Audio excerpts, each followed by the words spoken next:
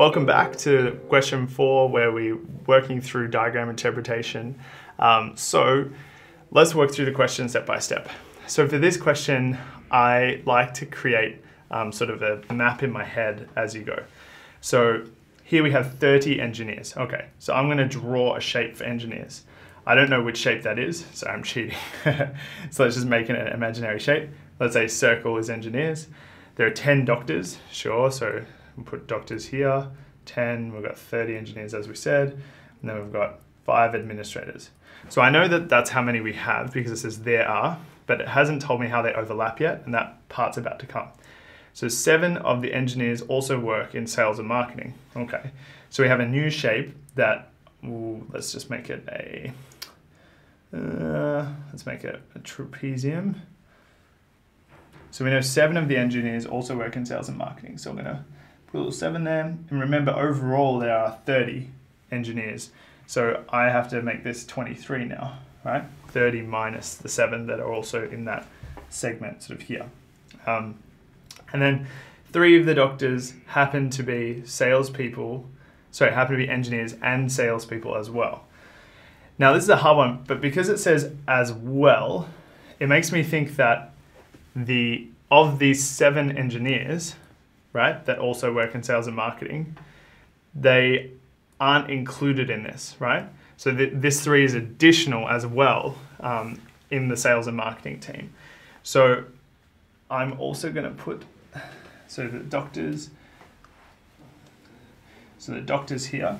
So we've got the original three doctors that we put here, right? Um, seven of the engineers in sales and marketing. So we put. So three of those have to be, happen to be. So th- those three doctors have to overlap. In all of the different segments, right? So there has to be a segment where they overlap um, overall. So using this information, now let's look at the actual questions itself. So we know that we have to have the engineer box, right, adding up to 30. So let's just see if any of these boxes add up to 30. So we've got, we don't know which box it is, but we can assume that these five administrators are here because it's in every single one, right? So they're all the same. So we shouldn't even look at this because they're in every single option. Now, we'll also notice that the trapezium always adds up to 10, right? This trapezium here, here, here, and here always adds up to 10. So we know there are 10 doctors. So we know that probably, you know, if we were labeling the different images, we've got admin, then we've got doctors, and then what are the two things left? We've got sales and marketing and engineers.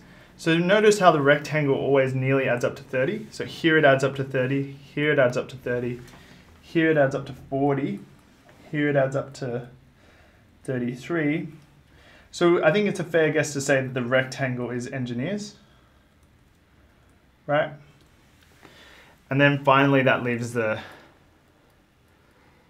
diamond as sales and marketing. And now we just have to pick which one would make sense. So we know there are three sales and marketing people and seven sales and marketing people here. So overall, the sales and marketing has add up to 10. So it adds up to 10 in here and here, which is correct. But the only difference between C and D is where the seven is, right? So if we go back, seven engineers also work in sales and marketing, right? So in this case, in D, that the seven sales and marketing people aren't in the engineering box. So we know that C is the correct answer because it has the right number overall in each of the shapes that fits with the explanation. It also has the numbers in the correct overlapping boxes um, and it fits with our interpretation of the question. So I think the key thing here for me is first to speed up, you can look at what is different, kind of like one of those, you know, find the difference between these pictures type um, things. Um, you can look at what's different between the options to guide what you have to try and work out. So in this case, you know, the five that's on the outside of the question, they're different in every single case. Uh, sorry, they're the same in every single case. So there's no sense in trying to work out what that five is, just don't even worry about it. But we identified that here the seven moves in, the seven moves out. We also identified that these overall boxes add up to different numbers etc., etc. So this is just one example. I do think these questions are probably more complicated than the previous example um, because uh, it's not as simple as just finding the segment. It's kind of doing the reverse, constructing the picture itself, which is more complicated. So um, we're going to move on to the next question type now. Um, so good luck.